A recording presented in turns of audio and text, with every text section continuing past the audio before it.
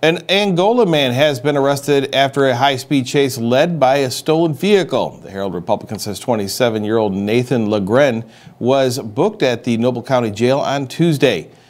It all started around 345 that afternoon on State Road 9 south of Albion, Indiana, where a trooper spotted a Pontiac Trans Am that had been reported stolen from Steuben County that morning.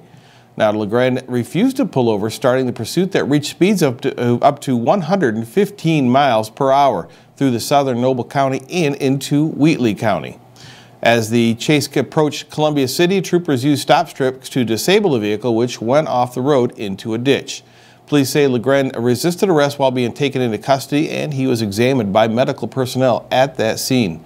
Now he's facing charges of possession of stolen property and resisting law enforcement, both level 6 felonies as well as a Class A misdemeanor for aggressive driving and operating with a suspended license, a Class C and a Class C misdemeanor for, a, for reckless driving.